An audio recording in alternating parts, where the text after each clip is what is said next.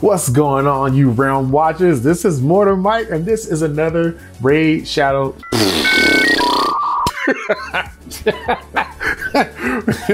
Let's do that again. Mission failed. We'll get them next time. What's going on, you Realm Watchers? This is Mortar Mike. It is go time. This is another Watcher of Realms video. Today, this video is all about Cyrus. I randomly pulled this guy, I think like a little bit over a week ago.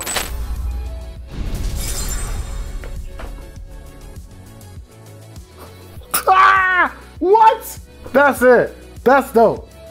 Oh my goodness. Out of the freaking blue. This is the video I did of a full review of the Immortal Codex, and I was breaking down ways that you can beat the bosses in the game. And lo and behold, I pulled a few um, shards at the end, and out pops that guy over there. Over, wow, the finger game is not that great. There you go, that guy. Out of the freaking blue and I haven't been happy because I think he's still underrated in how good a champion he is. When I tell you this guy brings teams together to do insane stuff. I added Cyrus to gear raid one and I could beat like the next two levels of gear raid one because of all of the benefits he gives. Let's dig into his kit. I'm to show you guys how I built him. So I'm going to go into the gear. What's interesting about this guy also, I don't have the end game gear. I got pretty decent gear, pretty late game gear, but it's still reachable for people who end up getting Cyrus. Um, and they haven't been, you know, farming gear raid 21 on one, two, and three consistently and, you know, really getting amazing pieces. This is at the pretty mid to late game, to be honest, um, as far as what I equipped on him. I built him more for damage than for defense. He has a pretty good damage output. It's not insane, but it's manageable and it's good against crowds. And so every little bit helps in those battles. My focus was to give him, you know, somewhere to like 10,000 damage. If I can get that, that's a decent amount. I mean, for a defender that's doing damage, it's not too bad. Um, his attack speed, I wanted to get a little bit up there. I wanted crit rate as close to 100 as I can get it. Crit damage is at a decent amount there. He is a stalwart champion. What do I mean by that? He is a champion that specializes above a lot of champions, honestly, at keeping, you know, at holding the line. But he puts giant AoE attacks. Let me show you the range on this thing. Let, let me just let me just click it. I gotta click it. This is his range. That is four tiles ahead. This is on the range of like a Valkyra, of like an Ardea. Uh, I think this range outranges Zillitu, if I'm not mistaken. Let's check out Zilly at the top. That's four tiles forward. She's only three tiles forward. So yeah, Cyrus can hit a lot of enemies ahead of him. The cool thing about that is, let's go back to the range because this is important for you to know. In that four range tile, the first two ranges ahead of him, he puts summons down. He puts down minions that help him end the battle. Let me break down how these guys work. This is pretty dope. Yeah, you want to know this because if you see a Cyrus out there, just know what you're facing. It's not just a single champion. This dude has like three kits. Let me just be real with you. He's got like three kits in one. Let's start off with the basics. His basic attack, it deals 100% AoE damage to multiple enemies in range. I don't know what multiple stands for, but I haven't seen him hit a cap and just say, oh, it's only like three or four. It's probably a lot, which is awesome. That scales to 120%. Here's where things start to get insane. Starting from his ultimate, then to the rest of his skills, then to his Lord skill, because that's when things start to get nutty. All right, ultimate. Legion of the Dead summons one skeleton fighter within two tiles ahead and increases their and the hero's damage by 150% and attack speed by 60 for 10 seconds. So this is why I built him more towards damage because if you notice, they get damage bonuses. It does not say defensive bonuses for the ultimate. Um, it's technically 100%. I scaled it to 150. The attack speed is going to go up by 100 and the cost is going to drop by another 100, making it 550. So it's almost ready when he's summoned. When he's summoned, and that gets even. Y'all don't understand this. Let me put this together. Let me put this together. All right. Next, one thing that's really interesting about this too. Here's something good to know. He summons two different types of minions. So he summons skeleton fighters Skeleton fighters are a little on the weaker side. So it says a summon unit that possesses a few of the summoner's hero attributes, able to delay and block one enemy. The key thing to say here is it possesses a few of the summoner's hero attributes, summoner hero's attributes. You can't see it, I'm in the way, sorry, so I'm gonna read it out to you guys. Next are the skeleton warriors. A summon unit that possesses significant portions of the summoner hero's attribute, able to attack and block one enemy. So I'm doing a little bit of homework on it. I'm, I'm getting the ballpark of like the skeleton being like, like a 30% and a warrior being like a 70% of stats. So it's it's it's been nice. Now that being said, because you're building him for damage, that means that you're not building him as much for sustainability and defense. That does not mean that he's a weak champ because he keeps summoning champions in front of him that can take damage for him and it just wait, just wait, just wait, just wait. Next part.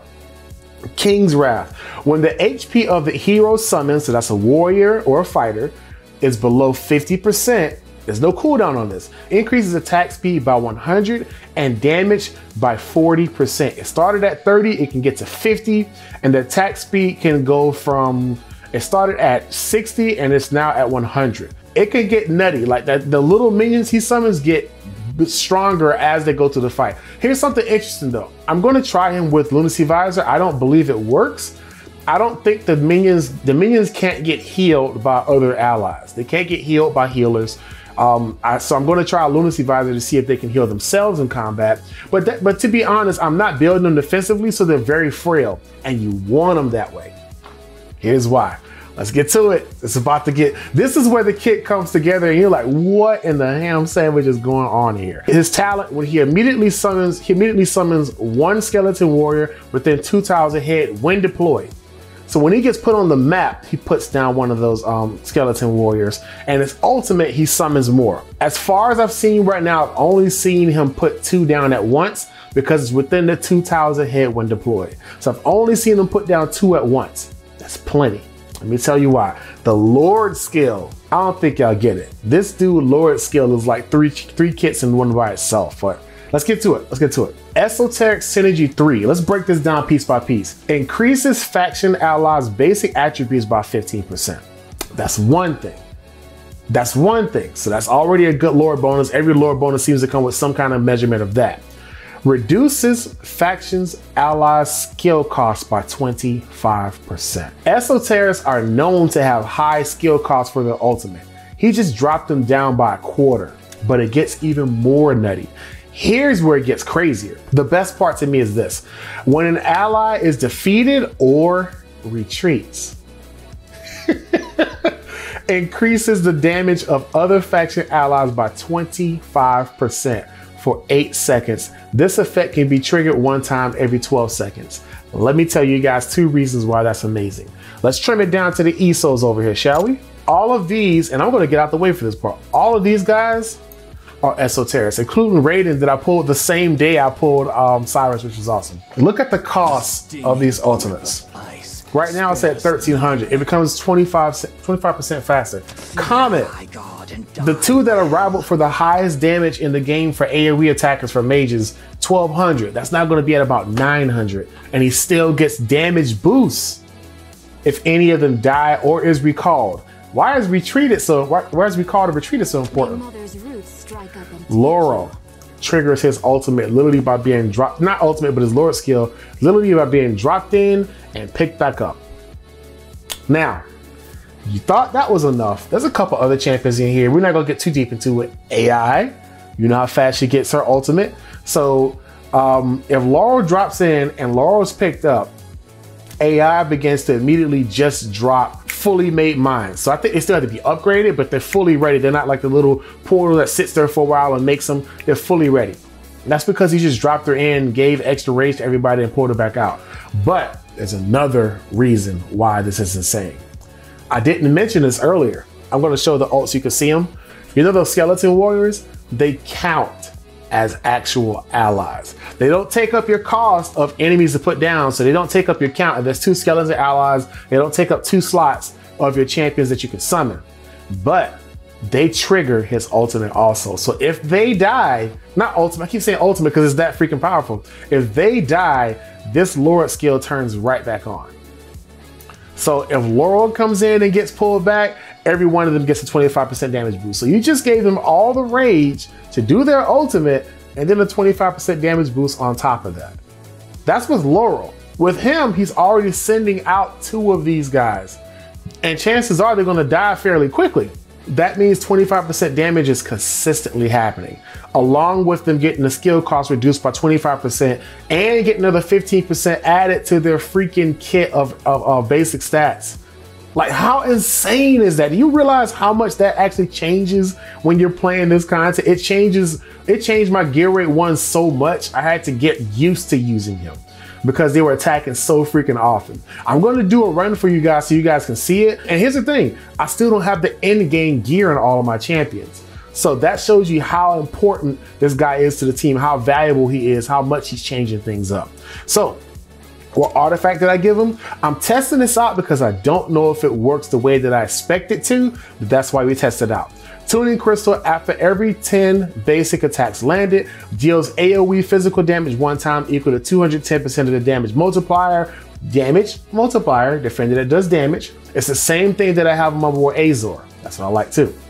Um, he does 200% damage multiplier to at most five targets and restores HP for 12% of damage dealt.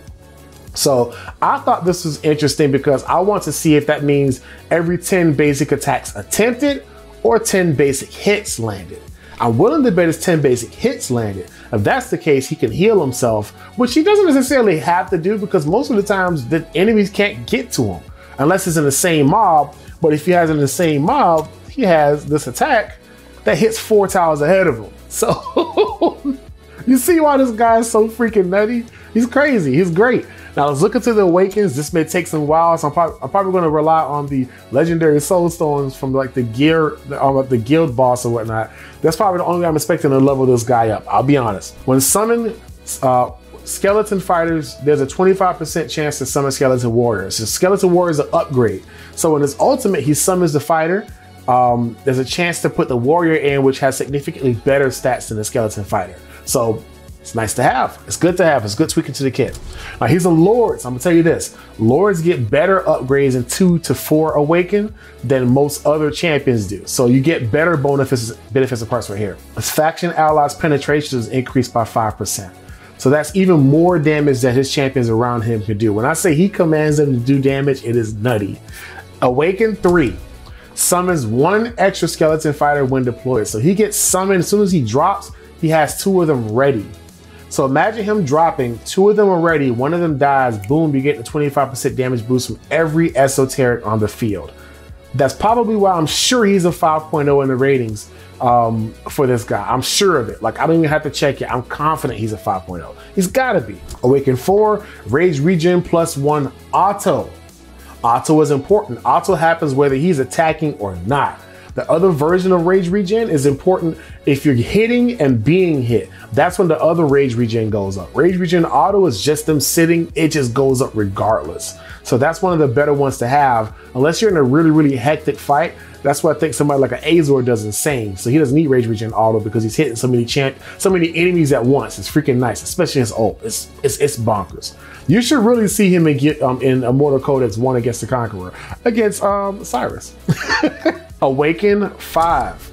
Upon death or retreat, summons one skeleton fighter. Why is that good? Because when he dies or is called back, it does the same thing that Laurel does when she dies or is called back. It gives the bonus to everybody else on the team. And when I tell you the cooldown of 12 seconds is short, because you're normally playing the game at 2x or the game is running at like 3.5x speed, that time passes by so fast while you're playing, you don't notice that cooldown is like, oh, it's major. No. As fast as you're getting ults back, as fast as you're getting abilities back, as much as the buff as you're getting, it is freaking madness. Think of the combinations you could put together as a team with this guy. That means that Ezran, just so you see it, I can't talk clearly when he's talking on top of me. It feels weird because I'm hearing a voice. 550 gets even lower. That's his ultimate with the super strong healing. Um, and don't forget, you can also add that with E. It's this one. No, that's that's part of it. But Redemption and Agony, where he can range, he can heal anybody on the map uh, beyond his attack range. So he's getting that even more often. That's making Ezran a better healer. Champs like the Somi, do not look. Uh, I say this enough in my videos. I hope you guys really grasp this. Don't look at the Somi as a full healer. Somi is a support character. In chaotic teams, she's a healer, sure. But in this team, she's a support team. She she gets rid of debuffs, faster than any other. I keep saying she. He gets rid of debuffs faster than any other champion in the game that I know of. And I really do mean that. Magic Incense is slept on. Look it up yourself. I'm not going to get into it right now, but it's a 6%, it's a six second landing. It can go for 12 seconds. And the ultimate, he could do three at once of tossing them. So it's, it's madness. That's awesome. AI. The Ice Wolf stops. AI has a notoriously short um, build up for her ultimate, which I freaking love that you can drop it down from 800 to 600. She's getting this at like a four, at 450, and then she's throwing straight, fully made crystal bombs. Fully made for 25 seconds. And then if you have any rage regen, they can build their rage in the background. I learned that. I didn't know if that was a thing that was happening, but I use Hollow very often. Hollow isn't an Esoteric. I think she's a, she a cultist, I think. Even blood. That boy, yeah, he's, she's a cultist. She can build rage in the background, and they already have decreased cost. So they really, I've literally had a moment where I had a Boreas, a Boreas that did his ultimate, and as soon as he finished it, he was at like 80 something percent to do it again, just with the team that I had. I think I had Laurel involved in there also. But like, that's insane to realize you have that much damage going out. Let's put this guy in action. Oh, before I do that, we gotta check the ratings. I gotta see if I was right about what I said. Look at that. They put Immortal Codex on the list too. Immortal Codex, Gold Raid, EXP Raid, Faction Trials, Gear Raid 2, Tide, Gear Raid 1, Void Rift, Guild War, Artifact Material Raid. It doesn't drop off until the last little parts here in Arena. And I do agree that Arena and like Guild Boss aren't really the ideal places. Guild Boss could be, honestly, really could be. Um, but these areas where you fall off because his cost is still, I believe, it was it 25? His cost is pretty high. His cost is 25. So he's typically not the first champion you're going to be putting down. You're going to start your defenses first, and you're going to put him in because he's going to light up everything around you. Single target DPS, I disagree with that because he's blocking away with a whole bunch of these warriors. Um, I guess because of the fact that he can be killed to an extent. Oh, oh, I don't know. I don't know if I showed that. Did I show you these guys? The skill right here, Lord of the Undead. I think I missed this one. Sorry, sorry if I did. 50% of incoming damage will be absorbed by the hero's summons. They go to his summons. They don't go to him. He, they get the damage instead, and that can be boosted up. Um, it was at 40, it can be boosted to 60%. Um, so that means they're going to be intentionally die more often, which procs the ultimates. And it means he can do more damage too, so that's why I build him for damage.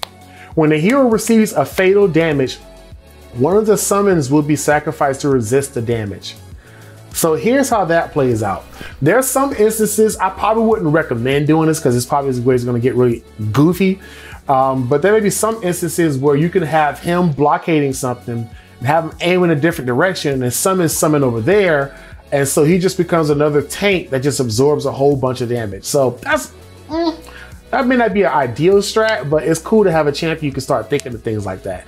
He has four tiles of hit damage ahead. That means he can hit other lanes and help out. It's freaking nice. I'm sorry I missed that. I forgot to mention that before. Yeah, he can't die until all of his minions die first. So you find a way to keep his minions from taking immediate damage, he becomes more tanky because of that. And then you can just keep healing him. So just putting that out there. Just thought I'd mention that. All right, let's try this guy out. The main place I wanted to show that I've seen the most success is in Gear Raid 1. You guys saw the full list, but I've already completed Void Rift. Um, I haven't built around him for Guild Boss as much. Getting into this here, Gear Raid 1. Oh, Gear Raid 2 is where we're getting bonuses now. Gear Raid 120. Just doing this one because I haven't tried 21 yet. Um, the good thing is the difference of BP isn't that high. So there's a chance I probably could beat it this week when they rotate back to doing this content. I'm going to do an auto fight. First time I'm going to turn off power dominance. How do you turn it off? Right here. Right here, right? What is a way that you press a button and it goes off? Maybe I'm I'm screwing myself over here, aren't I? Is that it? There we go. So I'm gonna risk it. I'm turning off power dominance. I'm gonna let this thing run. It's still gonna be at three times. I can't really change that. I wish I could slow it down for you guys to see it. But I'll do some pauses in the replay so you guys can see how it's working if that makes sense in here. But I'll make sure this thing works out for you guys. I'm gonna point it out as it goes. You're just gonna see how many times this guy's abilities comes to benefit the team.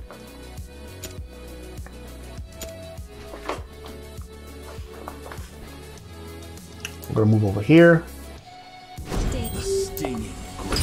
All right, I got Boreas and Dolores out there. I put my man, um, let's go ahead and pause it here. I started it off. I put Abomination from the from the right side facing left. I learned that was a really cool way to keep getting rapid attacks on the enemies in the middle. I think Power Dominance turned right back on. I'm pretty sure I just disabled it. But uh, yeah, I guess it's back on. So we're gonna watch that version instead. But um, I also put Maul in the background because Maul works really well with Boreas as far as doing extra damage. Or Boreas doing extra damage to targets that are frozen, and Maul does a really good job of keeping them frozen with his ult. So back to the match. I put him in a little further towards the, um, further into the match, but you already see Boreas is doing crazy damage. Hollow is in there giving all the rage regen back to the champs. Here's the next group. Here's where I start to bring Ezreal in. I put Ezreal here. I put Ezreal here in particular because I wanted to get two healers on Abomination. There were times where if you have an Abomination, you get into the higher levels, he still can die. And it's tough to keep him alive without having a good healer on him. So I just put the second healer in range for him because most of my damage dealers are just on one side, which makes sense for as you get in the higher gear raids. So you saw I just did my freeze here. And they do a pretty good amount of damage here, which works well. I did have an issue though. Boreas would die a lot. But it was because I just was um, like my damage wasn't going out fast enough and it started to cost me. If you see right here, I put Cerberus in the middle because Cerberus is the great toilet flush for this game mode. He just cleans everything up. It's really awesome. You can just see it. Even with power dominance off, it's still incredible.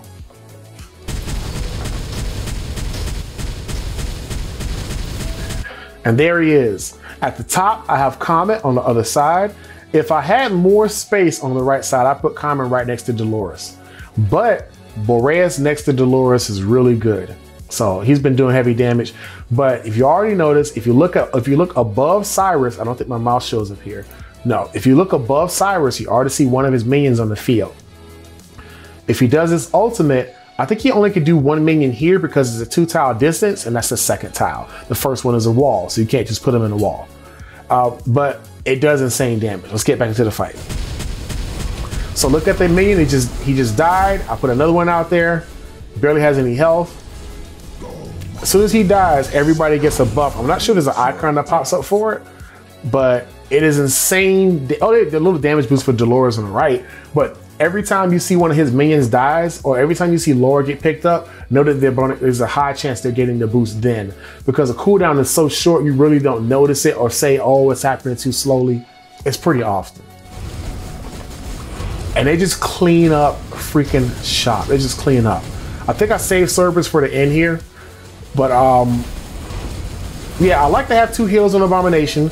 But you watch his ultimate, he just sent a minion out. You see he has, uh, and the minion just died, which means all of them about to do extra damage. Extra damage. Oh, he's getting extra heals. Okay. But it looks like every 10 attacks instead of every 10 hits landed. And that's fine. Every time I pop the ult, I send one guy out there and he just does work. Yeah, you see how much damage Abomination is taking per hit? If he gets hit like that twice without having a good healer on there, he, there's a good chance he could die off. So, good to know. You see, even the little minions getting his hits in. This part's a slower part for me here. I don't get fast damage on this part, but it's reliable. I could drop Laurel in and out here, here as much as I wanted to and just get extra damage boost to expedite it. Of course, that's the power of dominance run. Everybody sees that and says, oh, but it's a cheesy way. But look, you had to beat it without power of dominance. you don't start with that. That's only after ooh three. That's only after you've proven that what you put together works. So I had to show that to you guys so you can see just how quickly and ridiculous. Ooh, really? How ridiculously he helps the team in doing extra damage. And none of them have really crazy gear on. Most of my champions top out at like 60k. At the most of them, if they even reach that. I think my Boreas just got into the 60k range. He might even still be in the 50. I'll be honest with you. I'm still working on the right gear. Ooh, okay. I wish I could level that up like right now from here. I want to lock it because I know that's going to be useful. That was the main place I really think he's amazing in. I think he's also good, like I said before, in the Void Rift. If you want to check out the reviews of where people have already used him. Immortal Codex, it's funny that people put a 5.0 in Immortal Codex already because he's only been out for like very, very, a very short window. but people are like, he's amazing there. And I'm pretty sure they're talking about that first boss where there's so many waves of enemies and he just sends his minions out and it boosts up your esoteras. Now, here's a challenge with that. I'll be honest. The challenge with that is that there aren't as many ground units for esoteras, but he is a lord that brings a ton of buffs to you guys. So it's still a good wager to say, hey, put this guy in here and see how he works. Look at the ratings. Best damage dealer tank in the game. That's the first one. 82 people agree with that. Amazing damage, attack percentage, crit rate, and damage attack speed. Nobody's saying build him tanky. Everybody's saying build him for damage because he keeps getting boosts and he gives boosts to his minions and he gives boosts to anybody in his factions and he reduces the cost for the like it's it's crazy. Low rage cost, best summoner. And of course, there's stuff that you have like a Russian here, insane monster, a beast of a tank, massive range, great summons. That's probably saying cost. That's probably says he um puts out two monsters at once. I don't know the Russian ones as well. Free to play and got this guy. Ooh, dead by player. I'm gonna check him out. I'll probably end up adding him in. If he's making some content for this game, I'll watch his stuff online. Top tier tank with great damage. Somebody said he's just okay. That's when you know they haven't built that champ.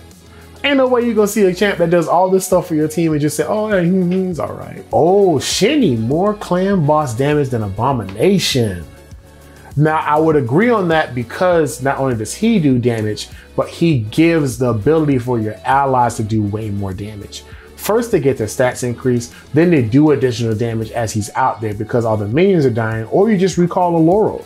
So yeah, I, I, I, disagree with he's just okay. More clan boss and abomination, I can understand that. Top defender makes artifact 18 with Salazar easy. That's insane.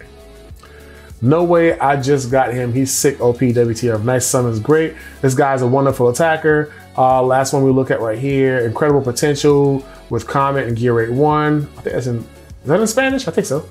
Yeah, say hello to my little friend.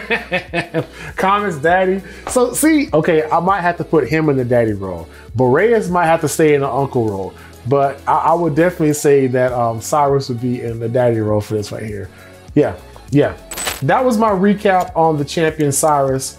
I really thought that it was important to go over the kit so that you guys had an understanding of how he works, all of the stuff that he does. He's essentially like a Dolores in the sense that when you get a Dolores added to your team, the possibilities of stuff you can do are insane. The difference is he's faction specific, so it has to be esoteric. So that is a little bit of a trade off there. The rate that he gives you the ability to one, make your rage a lot shorter, a 25% discount on your abilities to happen faster. That's one then he consistently is giving you more opportunities to do a ton of damage because you can drop laurels in and out or his minions can die. He just keeps giving 25% damage to everybody along with the 15% basic stat increase. I mean, like the list of stuff this guy can do is insane. So if you end up getting him, I promise you, he is revolutionary for any content that you put him in. He is amazing. You guys saw how many 5.0s this man has on his, on his account, on his um, ratings. That's a lot. That's a lot. He has a few below that, only like five or so people don't agree with. Anti-air, I agree because he can't hit anything. Gear raid three, I understand because he can't really hit anything. He can't do enough damage in the center lane to drop the boss. So I get that. I agree on that. Guild boss, I have a little bit of a maybe with that. I don't think he's good. Like they said, he does more damage than Abomination. But that's not just him. That's what he allows to happen. And that damage boost isn't something that you have to compare with having a damage boost with like Dolores or something. It adds with that kind of damage boost. So it's even better. Freaking nice. AoE DPS, I get it, but at the same point, he's still a 3.9 out of 5. So some people are still finding good value in him. And like we said before, single target DPS, I think he should be like a 4.5 to be fair.